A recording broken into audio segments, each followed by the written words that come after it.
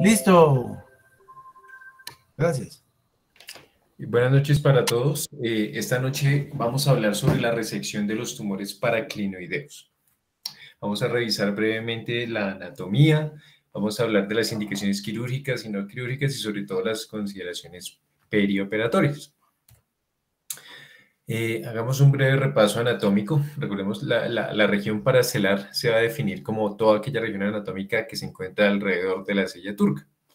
Va a ser una, un área crítica para el neurocirujano en cuanto a que en ella se encuentran contenidas estructuras neurovasculares críticas. Vamos a encontrar eh, variedad de pares craneales y todas las arterias principales de la circulación carotídea.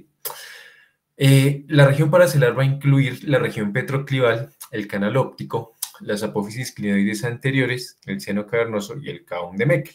Es decir, vamos a, excluir el, plano mesfenoidal y todo lo que se encuentra delante del surco quiasmático. Para, entender la anatomía microquirúrgica de esta región, partimos de la denominada pirámide de Krauss. Krauss decía que eh, esta región puede entenderse como una pirámide de base cuadrada eh, que se va a apoyar sobre el diafragma celar va a tener caras anterior, posterior, laterales y un eje que va a remediar el sentido del tallo hipoficial. En su cara anterior vamos a encontrar el segundo par craneal, el quiasma óptico, y los primeros segmentos de la circulación anterior, la circulación anterior, es decir, de los segmentos precomunicantes de la cerebral anterior, eh, eh, la arteria comunicante anterior y los segmentos postcomunicantes. Adicionalmente nos vamos a enfrentar eh, por los límites laterales de esta cara anterior a los segmentos supraclinoideos de la arteria carótida interna eh, de manera bilateral. Adicionalmente, pues no está incluido en esta representación, pero recordemos que la sustancia perforada anterior se encuentra en íntima relación con esta región anatómica, tanto así que cualquier movilización de las grandes estructuras vasculares nos puede causar una lesión inadvertida de la circulación nucleobasal y profunda, pues con, con unos eh, devastadores resultados posoperatorios. Para el abordaje a la cara anterior, pues tenemos múltiples opciones, pero pues la primera, por supuesto, siempre va a ser nuestro abordaje subfrontal medial, en cuanto a que nos va a permitir eh, abordar toda la patología que comúnmente vamos a enfrentar en esta región. Por su parte, las caras laterales eh, eh, también van a estar delimitadas por el segundo par craneal, pero adicionalmente vamos a, ver el tercer par craneal. En esta cara lateral vamos a apreciar con más claridad el, segmento clinoideo de la carótida interna. Vamos a poder observar la coroidea anterior y la arteria comunicante posterior.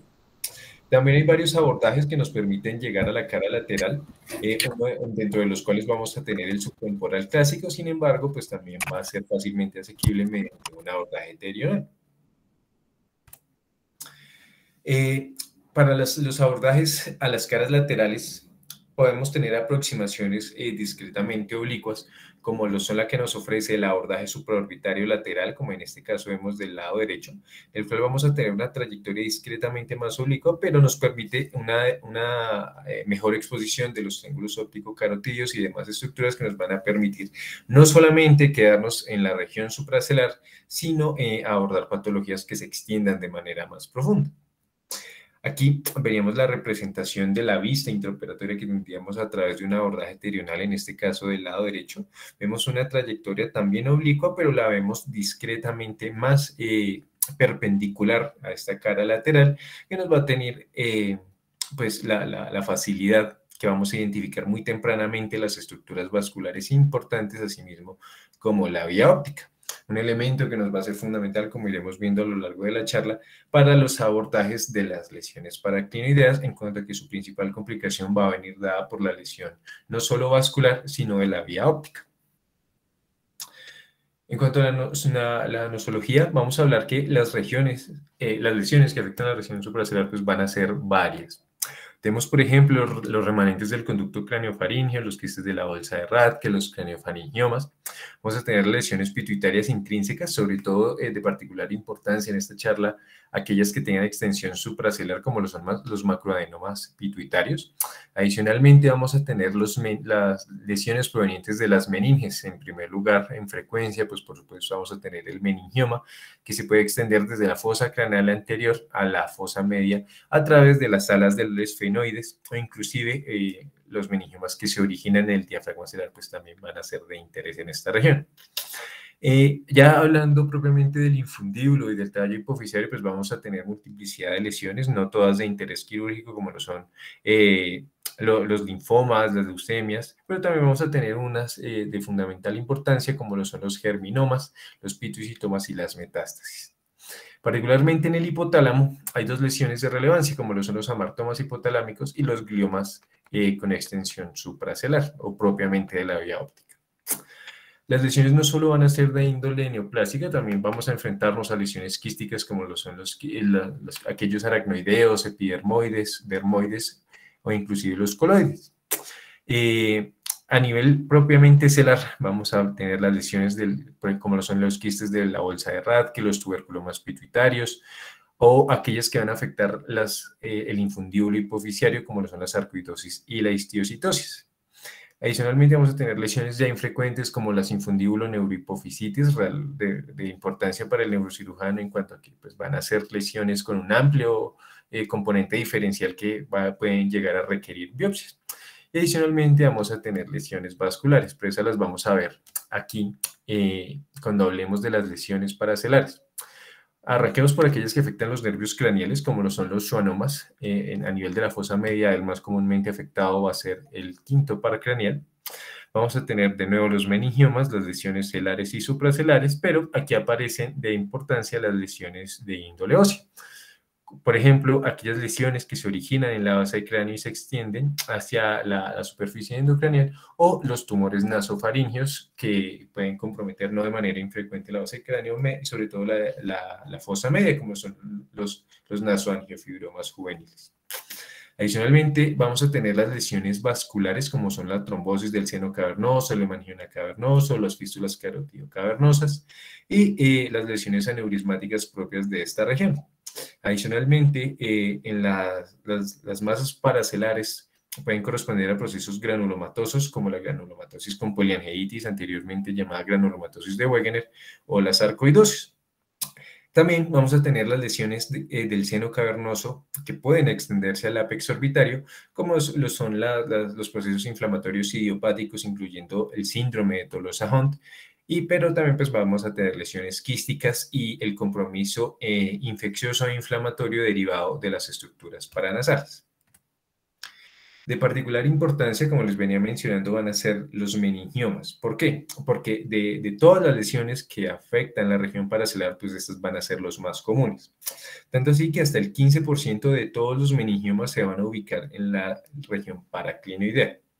Según su origen, en esta región vamos a identificar estos cinco grandes grupos, los meningiomas del seno cavernoso, los meningiomas que están en el caum de Meckel, aquellos ubicados en la pared lateral del seno cavernoso y también, pues ya hacia posterior, los meningiomas petroclivales y también los que se originan al interior del diafragma celular. Acá tenemos varios ejemplos en resonancias en T1 con contraste eh, axial, coronal y sagital. Podemos ver en este caso una gran lesión paracelar del lado derecho eh, que corresponde a un meningioma paracelar. Sabemos que es un meningioma por el fuerte realce homogéneo que tiene al medio de contraste de la administración de Gadolini.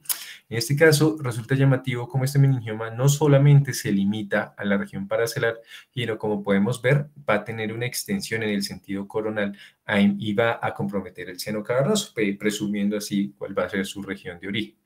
Aquí tenemos un, ejemplo un poquito más dramático en el que observamos cómo esta lesión del seno cavernoso pues, va a extenderse hacia posterior comunicándose con el caún de Meckel.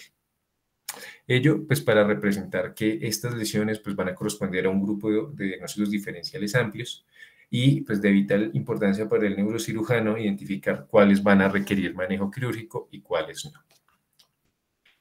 Hablemos ahora de los meningiomas clinoideos. Como su nombre lo indica, se originan en la apófisis clinoides, particularmente en la clinoides anterior.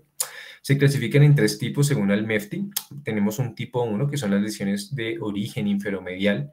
Eh, en este caso, la importancia de su abordaje radica en que la carótida interna se encuentra a la salida del seno cavernoso en el espacio subdural, no en el espacio subaracnoideo, lo cual hace proclive que estas lesiones al crecer eh, tengan un compromiso circunferencial de esta gran estructura vascular lo cual pues va a representar un gran reto quirúrgico. Eh, estas lesiones, como les mencionaba, se van a adherir firmemente a la, a la adventicia carotidia y van a crecer en sentido posterior, superior y lateral hacia la bifurcación de la arteria carotidia interna. Eh, tenemos acá las lesiones tipo 2 que van a tener un origen superolateral.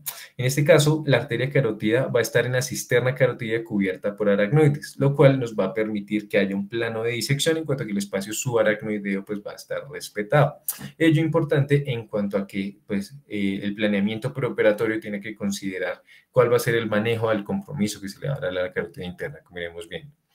Y por último, tenemos las lesiones que se originan propiamente en el canal óptico, particularmente en su techo, cuya clínica va a ser francamente florida eh, por el efecto compresivo que existe sobre el segundo par ipsilateral y como iremos viendo a lo largo de la charla, pues van a requerir consideraciones intraoperatorias adicionales.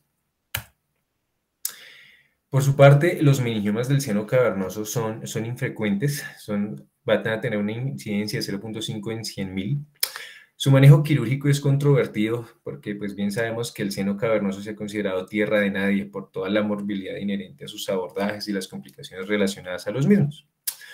Eh, pero cuando se define, que lesiones como esta que, que, invaden el seno cavernoso, en este caso del lado izquierdo, y van a tener una extensión anterolateral hacia la hendidura orbitaria superior y hacia el polo del temporal, hacia el mismo lado, pues podemos abordarlas mediante eh, una resección órbito-cigomática con una, con una exéresis ósea amplia. ¿Por qué vamos a escoger este abordaje? Porque nos, nos va a permitir realizar un control precoz de la carótida interna, que debemos hacerlo siempre en tres puntos, su porción petrosa, su porción cavernosa y su porción clinoidea. ¿Por qué en esos tres puntos? Porque cualquier, eh, como les mencioné al principio, cualquier movilización de este tipo de lesiones que están tan firmemente adheridas a las estructuras vasculares, pues puede eh, propiciar su ruptura. Así, pues va a ser indispensable que tengamos un control proximal para cualquier tipo de ruptura que podamos prever. Pasemos ahora a los meningiomas del ala esfenoidal. Van a corresponder al entre el 11 y el 18% de todos los meningiomas y van a ser muy comunes en mujeres, casi el 94% se diagnostican en mujeres. Como ya vimos, los clinoideos, perdón, estos meningiomas de ala esfenoidal pueden tener una localización puramente medial, correspondiendo a las del grupo clinoideos, pueden ser mediales, medios o laterales, también denominados terionales. Eh, en esta región también es frecuente que, como iremos a ver más adelante, se presenten meningiomas en placa, que van a tener un patrón de crecimiento eh, particular en cuanto a que se distribuyen como un tapete a lo largo de todo el piso de la fosa, sobre todo media. Su, su, abordaje quirúrgico pues, va a requerir una exéresis ósea mucho más importante en cuanto a que por lo general se acompañan a una hiperostosis reactiva muy importante. Aquí tenemos la clasificación de Almerti que nos gradúa los meningiomas de ala esfenoidal en estos siete grupos, pero básicamente se resume en si comprometen la región medial, media o lateral del ala esfenoidal. El meningioma en placa va a corresponder a la categoría 5 y cuando además de, estar en el ala esfenoidal invade el seno cavernoso, estos meningiomas en placa van a caer en el grupo 6. Cuando tenemos un meningioma puramente intraóseo, pues va a caer en el grupo 7. Hablemos ahora de las consideraciones terapéuticas. Por lo general, los meningiomas del seno cavernoso y del caum de Meckel suelen considerarse no quirúrgicos. ¿Por qué? Eh, esta, esta, es la cohorte más grande de meningiomas de seno cavernoso que hay recientemente, que es la de Amelot, que corresponde a un grupo europeo. En este estudio que, les muestro acá, ellos siguen 53 pacientes con meningiomas del seno cavernoso durante un periodo de más o menos 10.8 años, más o menos 5, y que encontraron que el 100% de los meningiomas que fueron hallazgos incidentales permanecieron asintomáticos. 80% de esos 53 pacientes permanecieron asintomáticos, es decir, aquellos que estaban inicialmente sin síntomas, hasta en un 80% permanecieron libres de ellos y eh, hasta el 83% de todos estos tumores no presentaron cambios en tamaño, de manera tal que, pues, que con esta casuística eh, lo, lo, intuitivo sería pensar que pues, estos tumores pueden ser eh, observados en el tiempo y un manejo conservador pues no es descabellado. hablando propiamente del manejo de los meningiomas de ala esfenoidal, como el que tenemos representado acá, podemos ver claramente cuáles son las tres regiones anatómicas de interés. Como les mencionaba ahorita, vamos a tener unos mediales que corresponden propiamente a los clinoideos, unos medios que se encuentran entre el tercio interno y el tercio externo del ala esfenoidal y eh, unas lesiones francamente laterales ubicadas hacia el terien, que va a corresponder pues, al grupo de lesiones ubicados de manera más externa. ¿Cuál va a ser la indicación de operar estos pacientes si sabemos que los meningiomas son lesiones benignas con una lenta tasa de crecimiento?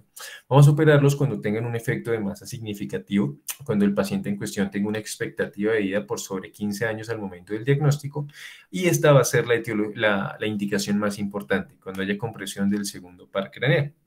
Estas lesiones, eh, pese a afectar de manera circunferencial las estructuras vasculares no suelen constreñirlas y no suelen afectarlas. Sin embargo, con el segundo par craneal ocurre eh, exactamente lo contrario. El segundo par craneal, al estar rodeado por una vaina que lo separa eh, en un franco plano, el espacio subaracnoideo del plano dural, pues van a verse comprimidos eh, a medida que el tumor progresa y lo cual va a llevar pues a un déficit visual irreversible. ¿Cómo vamos a abordar estas lesiones? Las lesiones mediales pueden ser bien abordadas por un abordaje órbito-cigomático eh, en cuanto a que la exposición ósea es muy favorable, nos permite valorar la, si hay extensión al interior del seno cavernoso y adicionalmente nos permite hacer un, control vascular precoz de la carótida interna clinoidea. Cuando las lesiones se encuentran en el tercio medio o en el tercio externo, lo ideal son los abordajes terionales. ¿Por qué? Porque en estas lesiones el compromiso óseo va a ser muy importante y recordemos que el principal factor pronóstico en meningiomas va a ser el grado de resección, en cuanto a que su residia pues va a ser directamente proporcional a la magnitud de la resección, así como el grado eh, histológico. Por su parte, las lesiones intracavernosas pueden ser abordadas bien mediante un abordaje subtemporal, sea ello con intenciones francamente eh, resectivas o para hacer biopsia, como iremos a ver más adelante. Eh, como en todos los meningiomas, un principio clave al momento de la cirugía es que las craniotomías deben ser amplias. ¿Por qué? Porque debemos esperar una importante hiperostosis reactiva que eh, va a involucrar pues, una gran movilización de estructuras, retracción de los lóbulos, particularmente temporal, de manera tal que la resección de esta hiperostosis va a jugar un rol clave al momento de facilitar nuestro corredor quirúrgico al momento de hacer la craniotomía, puede ser necesario seccionar a través del tumor para poder elevar nuestro colgajo óseo, y ello va a ser eh, de particular importancia cuando nos enfrentemos a meningiomas terionales. Según el MEFTI, se recomienda una resección ósea por lo menos a un centímetro del borde de hiperostosis, recordando que la hiperostosis puede corresponder a un proceso tumoral intradiploico eh, correspondiente a los remanentes de, células aracnoideas que van eh, migrando durante todo el proceso de neurogénesis y se van a quedar atrapadas al interior del diplo. Estas pueden dar lugar a tumor, pueden crecer y se comportan como un tumor propio del hueso. Eh, otro elemento importante al momento de escoger nuestro abordaje es que las lesiones mediales pueden estar rodeando las tres grandes arterias importantes de la circulación anterior y pueden estar comprimiendo la vía óptica y el tercer par craneal. Adicionalmente, eh, cuando estas lesiones, indistintamente su origen, tengan una extensión intraorbitaria o una extensión hacia el seno cavernoso, pueden que no sean resecables en su totalidad, lo cual pues eh, es una consideración preoperatoria crítica en cuanto a que nos va a establecer el pronóstico al dejar un remanente tumoral. ¿Cuál va a ser nuestro posicionamiento ideal? Eh, podemos tener la cabeza con un paciente que está en decúbito supino discretamente rotada en el sentido contralateral a la lesión. Cuando nos enfrentamos a meningiomas más mediales, eh, lo ideal es una rotación no tan extensa, más o menos entre 20 y 30 grados, que nos permita acceder de, una, en una trayectoria perpendicular a la región clinoidea anterior. Por su parte, las lesiones que se encuentran ubicadas discretamente más laterales, pues van a ser mejor abordadas mediante un posicionamiento con rotación a la cabeza en un sentido contralateral de más o menos 45 a 60 grados, de manera tal que la gravedad nos ayude a retraer el óvulo temporal y minimicemos pues el daño iatrogénico causado por el abordaje.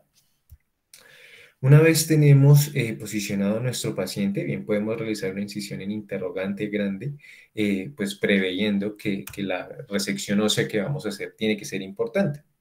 Partamos aquí del ejemplo de un abordaje orbitocigomático. En este caso hacemos una resección del lado izquierdo en dos piezas. ¿Por qué en dos piezas? Porque nos facilita la disección de la periórbita y nos permite realizar la, la resección ósea de una manera más completa y de una manera más controlada. Sin embargo, eh, indistintamente del abordaje, pues los principios van a ser los mismos. Una craneotomía grande esperando una marcada hiperostosis y que pues, nos va a requerir de, de un importante fresado óseo. Aquí, eh, eh, en ejemplo intraoperatorio de un abordaje orbitocigomático que va a requerir extensión hacia posterior, casi que combinando un abordaje terional con un orbitocigomático. En este caso, del lado derecho, en un espécimen cadavérico, vemos cómo hemos rechazado todo nuestro colgajo miocutáneo hacia adelante. Hemos disecado la dura madre de, de los pisos de la fosa media y anterior del lado derecho y concomitantemente hemos realizado una importante disección de la periórbita lo cual nos va a permitir un canal de trabajo eh, a través de toda la ala esfenoidal menor y nos va a permitir acceder al seno cavernoso y el actinoides anterior. Aquí, eh, ya en el espécimen quirúrgico, podemos ver una marcada resección ósea. Eh, hemos realizado sutura de anclaje de la dura madre y podemos ver eh, cómo hay una marcada hiperostosis, sobre todo en la base del cráneo, y podemos presentar aquí una lesión exofítica que ya se ha desinsertado de su implantación dural.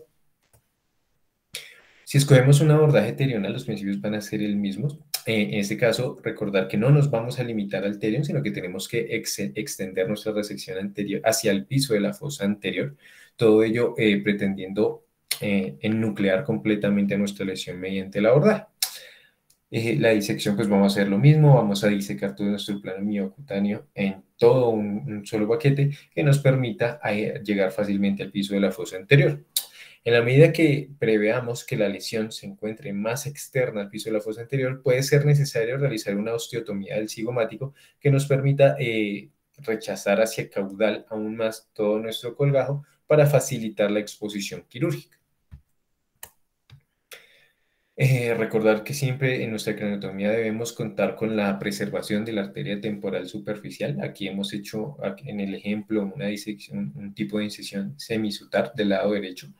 Una vez hemos realizado el rechazo del flamio cutáneo, podemos preservar pericráneo, previendo y anteponiéndonos a posibles fístulas de líquido cefalorraquídeo eh, que aunque no son tan comunes en, este tipo de lesiones, pues eh, en sí mismas, por la técnica, sí recordemos que va a requerir una resección dural amplia para pues, poder eh, minimizar el riesgo de recurrencia. Aquí, en este abordaje terional del lado derecho, nos encontramos un meningioma que se encuentra en la porción media del ala mayor de la esfenoides. Una vez realizada nuestra craneotomía, vemos que nuestro corredor quirúrgico a través de la base, de, la base eh, media del lado derecho, pues se va a ver completamente obstruido por este, este brote exofítico del ala mayor del esfenoides, que nos va a, pues, limitar completamente tanto la apertura dural como la navegación intracisterna una vez hecha la dura madre. De manera tal que, eh, como iremos a ver más adelante, la resección ósea siempre va a ser un paso clave al momento de nuestro abordaje. En nuestra durotomía, eh, recordemos que una vez tengamos nuestro corredor quirúrgico, un elemento indispensable va a ser la devascularización precoz del tumor. Los meningiomas de ala esfenoidal eh, pueden ser susceptibles de embolizaciones preoperatorias. Sin embargo, intraoperatoriamente también es posible devascularizar. ¿Cómo lo vamos a hacer? Una vez hayamos fresado nuestro, nuestro borde esfenoidal, tenemos que eh, buscar la, la, emergencia de la arteria meningia media a través del foramen espinoso de allí, eh, pues va en la mayoría de casos va a surgir la irrigación principal y si logramos cauterizar esta arteria antes de la porción intradural del abordaje, pues vamos a tener una minimización importante del sangrado intraoperatorio. Aquí eh, lo que les decía, la resección se va a ser un elemento sumamente clave. Eh, podemos realizarla en dos momentos, por supuesto, eso va a venir dado por las consideraciones y los hallazgos intraoperatorios, pero que lo que recomienda eh, eh, la, literatura es lo siguiente. Antes de abrir la dura madre, intente eh, deshacerse de toda la porción hiperostótica que se encuentra en todo el borde esfenoidal. Ello mediante una técnica extradural, un fresado con un craneótomo que dispongamos, ojalá con unas fresas diamantadas y de pequeños, de varios tamaños, ojalá de tamaños pequeños. Ello con el propósito de ir realizando un fresado óseo de lateral a medial eh, en la medida de lo posible hasta llegar a la apófisis clinoides anterior. Si definitivamente la localización del tumor o la hiperostosis son tales que no nos permiten eh, una, una, resección completa para llegar a nuestro objetivo quirúrgico, podemos realizar una resección eh, ósea intradural.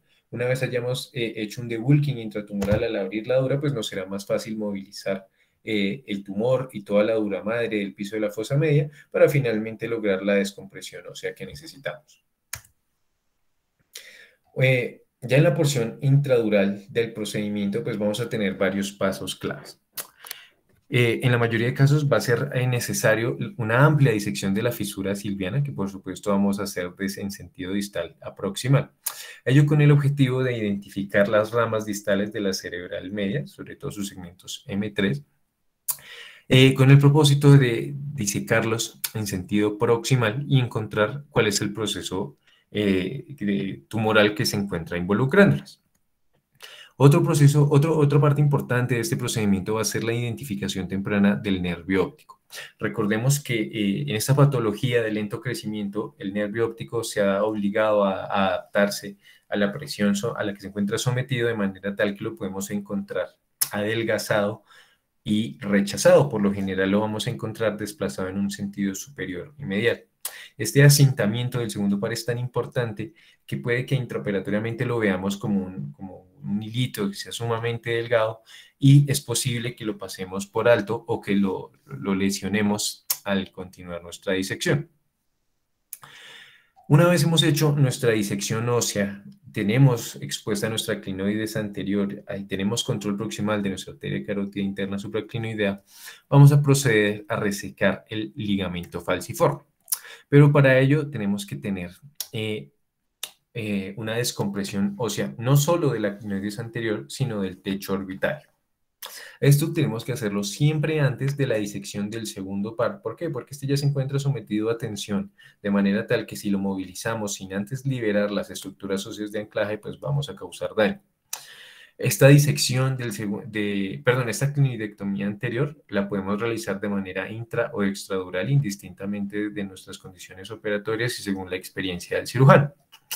Un elemento muy importante en, su procedimiento va a ser que eh, requiere una irrigación continua, en cuanto a que la fresa al calentarse puede causar una lesión por diatermia a las estructuras que queremos preservar. Una vez eh, hemos resecado de manera extradural nuestro techo orbitario y nuestra quinoides anterior, podemos volver a la parte intradural del abordaje, eh, podemos identificar el ligamento falciforme anclando el, formando el techo del canal óptico y anclándose a la pared lateral y caudal de la clinoides anterior y finalmente lo vamos a desinsertar de manera tal que hayamos hecho una descompresión completa de todo el, techo del canal orbitario así como de la apófisis clinoides anterior. Este es un ejemplo de lo que veríamos. En este caso estamos haciendo una resección intradural de un meningioma eh, clinoideo que tiene extensión hacia la hendidura orbitaria superior. Podemos ver que nuestra arteria cerebral media se encuentra rodeada circunferencialmente y estamos, eh, una vez hemos abierto nuestro valle silviano, pues nos vamos a encontrar este gran tumor y vamos a perder completamente nuestras referencias anatómicas. Rechazamos la dura hacia adelante, realizamos la descompresión ósea anteriormente mencionada y una vez la hayamos logrado, pues nos va a ser mucho más fácil realizar el debulking intratumoral en cuanto a que nuestro canal de visión va a ser más amplio y vamos a tener espacio para la movilización de la carótida interna, así como el segundo y el tercer par que vemos acá. Ahora, teniendo una descompresión ósea suficiente, habiendo liberado el techo orbitario y habiendo quitado la clinoides anterior, podemos proceder a realizar la disección subaracnoidea. En este caso, nuestro objetivo quirúrgico va a ser la liberación y la movilización del segundo par craneal para lograr acceder a las, regiones más posteriores y mediales del canal donde comúnmente eh, vamos a encontrar residuos tumorales. ¿Por qué va a ser tan importante descomprimir el canal óptico? Porque como ya les he mencionado, la la principal estructura preservar pues, va a ser el segundo par. Y si dejamos un remanente tumoral, por pequeño que sea, pues inevitablemente va a progresar con el tiempo y podemos sacrificar, podemos eh, llevar a que se dañe la, la función visual que intentamos preservar. Eh, esta, esta disección subaracnoidea va a tener el propósito de no solo descomprimir el canal, el canal orbitario, sino que adicionalmente nos va a permitir abordar eh, la hendidura orbitaria superior y asimismo realizar la descompresión del tumor que se encuentra allí invadido.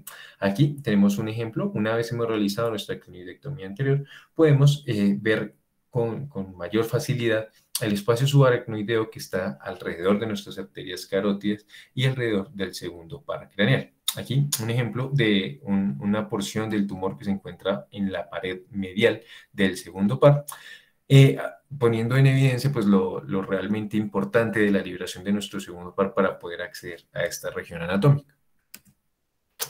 Aquí les presento un espécimen eh, anatómico. Tenemos una visión intraoperatoria eh, hemos hecho un abordaje terional, en este caso del lado derecho, y estamos realizando una disección, eh, una apertura del valle silviano. Vemos antes de lo mismo una gran lesión exofítica que se encuentra ubicada en la porción más medial de la, de la fosa anterior. Vemos que es una lesión ampliamente vascularizada que impresiona firme e impresiona turgente. Y ya hemos empezado a abrir nuestra cisterna silviana del lado derecho, vemos las venas silvianas rechazadas hacia la porción más lateral de la imagen y nos encontramos eh, ramas de la arteria cerebral media que están completamente rodeadas por esta gran lesión tumoral. Empezamos a coagularla, empezamos a devascularizarla y hacemos la, la, exéresis intratumoral. Y a medida que vamos progresando, pues va a aparecer nuestro segmento supracnoideo de la arteria carótida interna, va a aparecer nuestro segundo paracraneal. Aquí estaría la emergencia del tercer paracraneal. Aquí, otro escenario, ah, no hemos abierto todavía nuestra cisterna silviana, vemos una gran masa exofítica proyectándose hacia anterior y hacia, adelante, hacia lateral, envolviendo toda la parte medial de la fosa media. Eh, empezamos a coagularla, empezamos a disecarla y eh, a medida que logramos retirar partes del componente tumoral, vamos a apreciar que empiezan a emerger las estructuras vasculares. Aquí nuevamente lo mismo, vamos a enfrentarnos a la bifurcación carotidia y eh, pues una vez hemos logrado resecar el tumor, pues nos va a ser más fácil la disección subaracnoidea de estas estructuras vasculares. Una vez finalizado nuestro procedimiento, un elemento clave va a ser el cierre. Al requerir una resección ósea tan importante, eh, este, pues la reparación del, piso de la fosa y también de la OEA va a cobrar vital importancia, no solo por el componente cosmético, sino pensando en que estos van a ser pacientes que van a requerir intervención. Eh, intervenciones eh, ulteriores, eh, también pueden requerir radiocirugía estereotáctica en caso de resecciones incompletas, de manera tal que restaurar la anatomía de nuestro abordaje pues va a ser fundamental.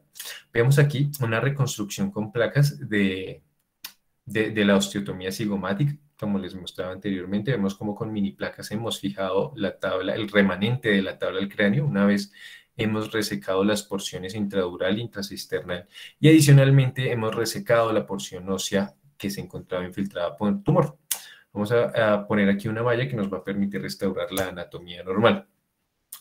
Sin embargo, no solo basta con restaurar la anatomía de la convejidad, también va a ser fundamental eh, restablecer el piso de la fosa media para evitar eh, fenómenos de, de, encefaloceles o meningoceles, fístulas posoperatorias y todas las complicaciones de las que hablaremos más adelante. Aquí vemos cómo hemos reconstruido con malla eh, todo el ala esfenoidal menor y mayor adicionalmente a la convejidad.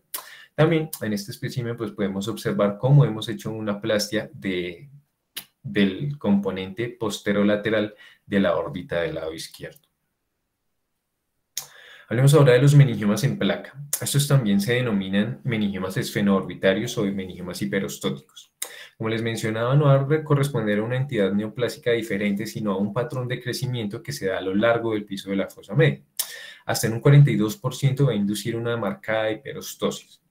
Clínicamente se diferencian en cuanto a que pueden eh, dar origen a una proptosis pulsátil irreductible por la extensión intraorbitaria que va a empujar eh, todo el contenido conal hacia afuera. Dentro de los diagnósticos diferenciales es importante incluir la displasia fibrótica monostótica esfenoidal, los osteomas, las metástasis blásticas e inclusive noxas eh, sumamente infrecuentes como la sarcoidosis. Aquí eh, vemos en una resonancia axial eh, en un T1 con contraste, una lesión que ocupa eh, el ala mayor del esfenoides con un realce homogéneo al medio de contraste y vemos que se está eh, extendiendo hacia la hendidura orbitaria superior, desplazando la grasa intraconal. En la tomografía vemos la misma lesión, pero más importantemente podemos ver cómo hay, una, hay, un engrosamiento difuso, irregular y sumamente marcado de, em, pues del ala esfenoidal en el cual se origina la lesión. En cuanto a las consideraciones preoperatorias, realmente no cambia mucho. En estos escenarios, eh, pues tenemos que anticiparnos a que la resección ósea va a ser sumamente amplia. Aquí tenemos un ejemplo de un espécimen intraoperatorio en el cual ha sido necesario realizar también una, una osteotomía cigomática que nos permita diseccionar nuestro flagmio cutáneo lo más hacia caudal posible, de manera tal que podamos acceder al piso de la fosa media sin necesidad de retraer eh, de manera importante pues, el temporal. Esta es una casuística que les presento de tomada de la revista egipcia de neurocirugía. Ellos hablan de, de, una serie de 22 casos de meningiomas en placa del ala esfenoidal. De los 22 pacientes, solamente 45, el 45% pudo ser resecado de manera total. Las resecciones subtotales fueron el 27%, resecciones parciales el 23% y eh, se requirió abortar el procedimiento en hasta el 5% de los casos. Más importante que el grado de resecabilidad es lo que les muestro aquí a la derecha y es el grado de complicaciones. Un 34% desarrolla hipostesias trigeminales. Un 22% se mueren un 11% quedan oftalmoplégicos o con fístula de líquido cefalorraquídeo o con hidrocefalia o se infectan. Como podemos ver, eh, la tasa de complicaciones pues no, no es para nada despreciable y pone en evidencia la gran morbilidad asociada a este tipo de cirugías. En cuanto al cuidado postoperatorio de este tipo de lesiones, vamos a tener que vigilar el desarrollo de hematomas epidurales asociadas a la amplia desinserción dural. Eh, ello eh, teniendo en cuenta que a los pacientes que operamos de meningiomas, pues por lo general suelen corresponder a pacientes añosos que ya de por sí ingresan a cirugía con una desproporción encefalocraniana significativa, que eh, pues los hace proclives al desarrollo de cualquier tipo de hematomas. Adicionalmente, debemos prever la crisis convulsiva en cuanto a que vamos a manipular áreas epileptogénicas como lo es todo el óvulo temporal. Y adicionalmente es importante eh, vigilar las, infecciones postoperatorias cuando tenemos comunicaciones inadvertidas con la mucosa de los senos paranasales, particularmente el seno esfenoidal o las celdillas esmoidales posteriores. ¿Cuáles son las complicaciones que van de la mano con esta cirugía? Las más serias y pues, en cuanto a que son irreparables y suelen asociarse a un déficit clínico muy significativo, va a ser la lesión inadvertida a las ramas lenticuloestriadas cuando movilizamos el tumor. Esta va a ser la complicación a la que más miedo debemos tener.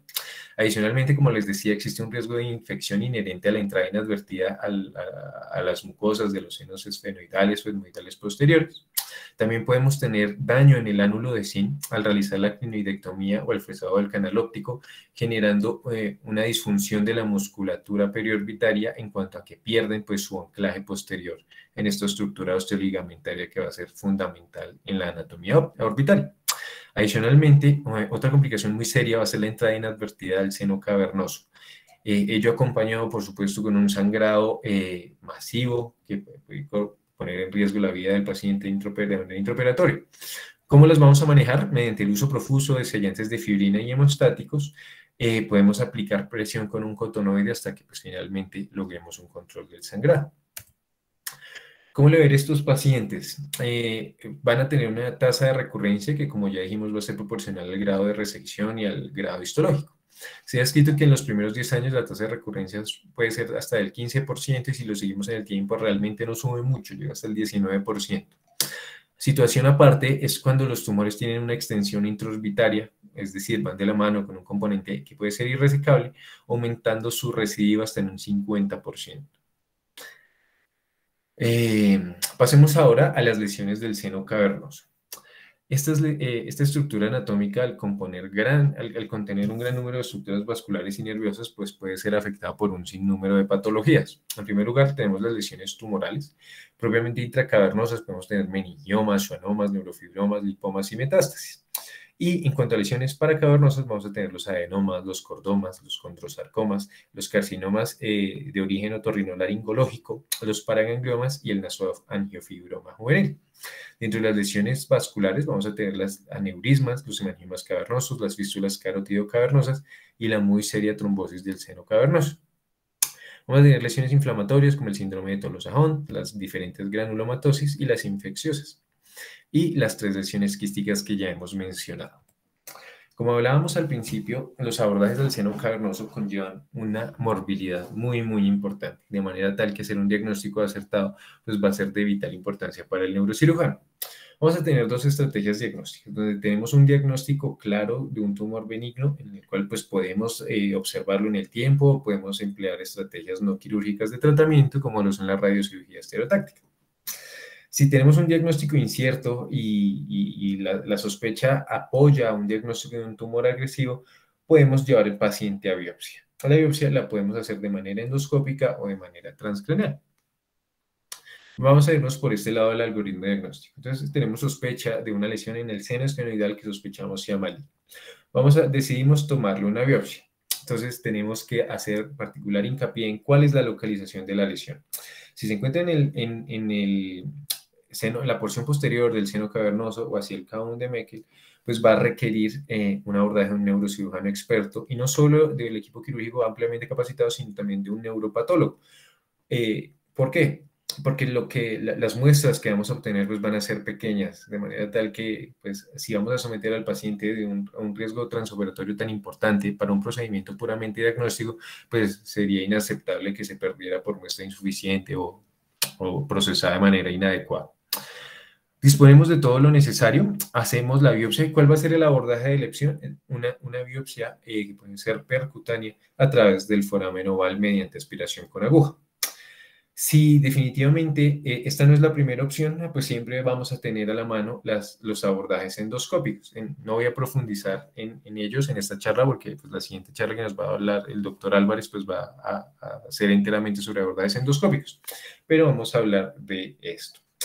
Si, ninguna de las dos opciones pues, son viables, pues siempre eh, podemos tener a la mano un abordaje transcraneal. Bien puede ser por un abordaje terional o un abordaje subtemporal. Aquí eh, les presento un ejemplo de un paciente que se llevó a una biopsia transcranial mediante un abordaje perional del lado izquierdo para esta gran lesión que se encontraba en el seno cavernoso del lado izquierdo y tenía una extensión discreta hacia anterior buscando la hendidura orbitaria. Este, se trata de un paciente de 55 años, masculino, y tenía antecedente de mieloma que se encontraba en, remisión. Este paciente debuta con una parecia del tercer par del lado izquierdo eh, intensa, de intenso dolor en la región retroorbitaria. En cuanto a los diagnósticos que plantearon eh, pues, a quienes enfrentaron a este paciente, se encontraba el mieloma, las meningioma o un neurinoma asociado al tratamiento oncológico. Eh, se realiza una biopsia transcranial mediante un abordaje miniterial pues, que nos va a confirmar pues que esta lesión en cuestión corresponde a mieloma. Noten ustedes la importancia del diagnóstico en cuanto que por imágenes, pues realmente la aproximación es, es, fácil equivocarse, o sea, se parece a, multiplicidad de lesiones, puede ser un síndrome de Tolosajón, puede ser un meningioma, puede ser un schwannoma, de manera tal que la biopsia pues va a cobrar una importancia vital. Eh, hablemos en primer lugar de las biopsias percutáneas a través del foramen oval. De esto ya hablamos cuando les, les, mencionaba las técnicas de tratamiento de la neuralgia trigeminal en otra charla. Vamos a recordar brevemente la técnica de Hartel. Esta consiste en el acceso percutáneo transfacial al ganglio de Gasser a través del foramen oval. En este caso vamos a hacer un posicionamiento con un paciente supino con la cabeza en neutro, la cabeza extendida aquí de 30 grados y vamos a abordar al paciente mediante una proyección submental desde el vértex al foramen oval. El cirujano va a ubicarse al lado e intervenir. El punto de inserción va a estar 2.5 centímetros lateral a la comisura labial y un centímetro inferior al plano oculusal. Una vez tengamos clara nuestra trayectoria, vamos a dirigirnos en un plano sagital medio pupilar eh, que se va a intersecar con un plano coronal ubicado más o menos 2-3 centímetros anterior al trago. Vamos a realizar eh, una aspiración con una aguja de calibre grande y eh, sin dejar de lado que la, la trayectoria pues siempre debe ser surmucosa y debemos guiar la aguja eh, ubicando un dedo en la, en la mucosa oral para evitar ingresar a la cavidad oral. Esta nos va a ser útil para el abordaje al count de Meckel, sin embargo, también nos va a ser útil para acceder a la parte más posterior del seno cavernoso. En general, se recomienda que eh, avancemos la aguja más o menos entre 6 a 8 centímetros y siempre hagamos una confirmación mediante una fluoroscopia, en este caso lateral de cráneo, donde podemos ver ubicado eh, la punta de la aguja un centímetro posterior a nuestra apófisis clinoides. Eh, por supuesto, esta, esta es una técnica clásica, ampliamente descrita, con buena efectividad, sin embargo, pues hoy por hoy no podemos dejar de lado las, las herramientas tecnológicas disponibles. Podemos también realizar estos procedimientos percutáneos asistidos por sistemas de neuronavegación. Aquí tenemos el ejemplo de una lesión que se ubica en el seno cavernoso del lado izquierdo que se extiende posteriormente hacia, hacia el caón de Meckel. Asistidos por navegación, en este caso tenemos esta, esta es una aguja, de, una aguja coaxial de corte frontal, calibre 17, acoplada al sistema de navegación. Eh, mediante la, asistencia del mismo, pues vamos a llegar con mayor seguridad al count de Meckel. Y en este caso, eh, se realiza la biopsia obteniendo un, eh, un, un, espécimen histológico que revela que la lesión corresponde a un adenocarcinoma, cuyo primario, pues por supuesto, no va a ser intracranial, y pone una vez más en evidencia la importancia del establecimiento en la etiología de este tipo de tumores. Otra herramienta terapéutica para las lesiones del seno cavernoso va a ser la radiocirugía estereotáctica. Y les presento el caso de un masculino de 38 años que ingresa con un síndrome hemifacial doloroso ipsilateral, eh, en quien se documenta esta gran lesión en el seno cavernoso que resulta ser, tras una biopsia percutánea, un schwannoma trigeminal. En este caso, eh, se le administra eh, una dosis de 1400 centigrados en una única fracción y vemos el control imagenológico a un año, en la cual pues no hay una disminución volumétrica ostensible, pero sí podemos ver que hay una disminución del componente del, que se extendía hacia el count, así como necrosis al interior del tumor. ¿Cuál es la, efectividad de, la radiocirugía estereotáctica? Tenemos presentadas las series más recientes, con un volumen de pacientes no despreciables que se siguen por una media de más o menos 82 eh, meses. Vamos a tener que, eh, eh, cuál es el porcentaje de mejoría de la función de los nervios craneales para cada uno de los escenarios para radiocirugía estereotáctica, con un mínimo de mejoría de 21% y un máximo de mejoría del 69%. Sin embargo, pues no todos los pacientes van a mejorar. Es posible que los pacientes empeoren eh, o que desarrollen neuropatías adicionales asociadas al tratamiento en una cifra no despreciable. Por ejemplo, aquí tenemos una incidencia de lesión iatrogénica de pares craneales tan alta como hasta el 12.5%. Pasemos ahora al síndrome de Tolosa-Hunt. Ese corresponde al denominado síndrome oftalmopléjico doloroso. Se describió por primera vez en el año 54 por el doctor Eduardo Tolosa, un neurocirujano español. Posteriormente siguió la descripción de Hunt en el año 61, pues es, eh, gracias a estos dos neurocirujanos que, quienes van a darle el nombre a la enfermedad. Este corresponde a un, a un proceso idiopático eh, configurado por una inflamación linfocitaria inespecífica del seno cavernoso que puede extenderse al apex orbital. Eh, su incidencia es, relativamente baja, ocurriendo una en un millón por año. Se presenta con una edad eh, aproximada de 42 años y no tiene predilección por sexo. Suele ser unilateral, pero hasta el 5% de los casos suele ser bilateral. Este, este síndrome, al ser tan infrecuente, va a corresponder prácticamente a un diagnóstico de exclusión y vamos a dar tratamiento como tal, pues una vez hayamos descartado todas las demás etiologías que, como les mencionaba al principio, pueden corresponder a otras enfermedades granulomatosas, llámese eh, eh, granulomatosis con poliangeitis, sarcoidosis y demás. Aquí eh, tenemos un ejemplo de un síndrome de Tolosa-Hunt en el lado derecho, en el cual resulta evidente una oftalmoplejía a los movimientos oculares y pues este no, no, no me sirve muy bien para representarlo, pero eh, en el síndrome de Tolosa-Hunt se asocia a una importante eyección conjuntival en cuanto que hay una compresión extrínseca del retorno venoso en el apex orbitario por eh, la disminución del calibre endoluminal de la vena oftálmica superior. Al ser un síndrome de dolor craneofacial, se encuentra codificado en, la clasificación internacional de cefalea en su tercera versión. Eh, ¿Cuáles son los, diagnósticos, los criterios diagnósticos? Un dolor unilateral o periorbitario, perdón, un orbitario unilateral o periorbitario que cumple el criterio C. ¿Cuál es el criterio C? Que eh, se demuestre una, una anoxia causal bien dada por una inflamación granulomatosa o que la cefalea se, sea precedida por parecia de los pares oculomotores, por lo menos en las dos semanas antes del diagnóstico. Adicionalmente, eh, pues que sea posible demostrar el compromiso granulomatoso, bien sea por resonancia o por biopsia, y lo que les decía ahorita, que eh, este corresponde a un diagnóstico de exclusión de manera tal que pues es importante descartar otras categorías de dolor primario. Esta va a ser una patología que por lo general no va a requerir manejo quirúrgico, sino enteramente médico en cuanto a que responde muy favorablemente con la administración de glucocorticoides. Lo primero que va a mejorar va a ser el dolor. Estos responden antes de 72 horas. Por su parte, las neuropatías craneales van a responder más bien de manera pobre. Es una enfermedad que puede remitir espontáneamente, pero tiene una muy alta tasa de recurrencias, está en el 40-50%. Puede ser que su manejo requiera medicación adicional, sobre todo en la categoría inmunosupresora, como la estateopina, el metotrexate, la ciclosporina o el infliximab. Y ya para finalizar, les presento un ejemplo de un síndrome de Tolosa-Hunt que afecta el síndrome el, perdón, el seno cavernoso del lado izquierdo y se extiende hacia la hendidura orbitaria superior. Vemos una imagen control con, eh, con la misma modalidad, un T1 con contraste, cuatro meses tras la administración de esteroides y podemos ver una marcada reducción del, de la expansión volumétrica de las estructuras celares y paracelares, así como la regresión del componente intraorbitario, ello puesto evidencia en una disminución en la intensidad de señal con el medio de contraste. Y bueno, eso era lo que les quería compartir esta noche. Muchas gracias por su atención.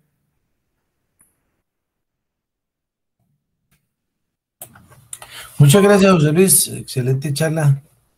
Un tema, como todos, extenso, eh, difícil de abordar en una sola charla porque cada uno es un capítulo independiente. La parte de los tumores eh, eh en placas pues merece en particular eh, descripción porque pues, son infrecuentes pero son un reto quirúrgico bastante impresionante y como todos los meningiomas hay que tratar de, vascularizarlos siempre, ¿no? Para poder manejarlos porque a veces son realmente difícil de controlar el sangrado por lo tanto siempre hay que tratar de abordarlos directamente a las arterias meningias para quitar el flujo y, y facilitar la, la, extracción. Lo otro mm, es el, lo que usted mencionó sobre quitar siempre la mayor cantidad de hueso posible para tratar de, de tocar menos el cerebro, de, no comprimirlo y de esa manera tener mayor espacio y mejor maniobrabilidad para resecar los tumores. Asimismo, eh, pues antes se abogaba por sacar la masa de un solo, en un solo bloque, pero en estos casos siempre es mejor desinflar el tumor y, ahí sí luego ir a las paredes del, del, tumor, hacer lo que llamamos un debulking siempre para facilitar la extracción. Y los tumores del seno cavernoso, pues como usted mencionó que tierra de nadie, pues generalmente biopsias y cirugía, que, eh, cirugía estereotáxica, pero bueno, eh, ya estarán las personas más pesadas en este tema. Mm, no sé si hayan comentarios o preguntas para el expositor, por favor, continuar.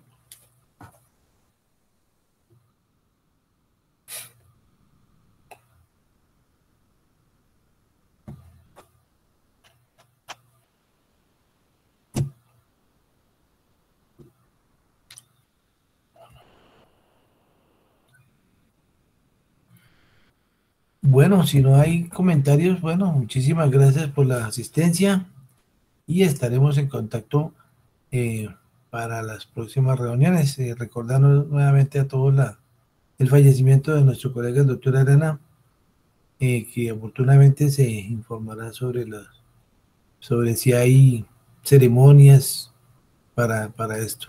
Muchas gracias. Muchas gracias por su atención y buena noche.